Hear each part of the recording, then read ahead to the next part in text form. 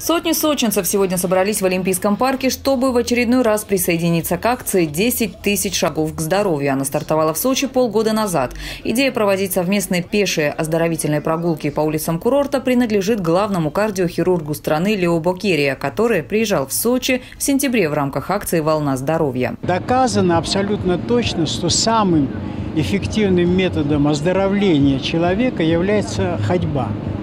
Поэтому мы такое значение придаем именно этому э, виду оздоровления людей. Причем он пригоден и для молодых, и для пожилых, он пригоден и для больных людей. Люди, которые ходят хотя бы два часа в неделю, продолжительность жизни у них увеличивается почти на 10 лет. Акция «10 тысяч шагов к здоровью» полюбилась сочинцам. Каждую пятницу все желающие шагают в разных районах города с пользой для здоровья. Для этого в Сочи разработано 10 маршрутов активности. Мы даже сделали а, такую форму, как прогулка с врачом, когда, а, идя по маршруту, можно задать вопросы врачу сопровождающему, Э, или возглавляющим э, это шествие. А завтра в Олимпийском парке будет дан старт всероссийскому проекту «Ходи, Россия». На Сочи автодроме все желающие смогут попробовать себя в скандинавской ходьбе с палками. Инициатор проекта – известная фигуристка Ирина Слуцкая.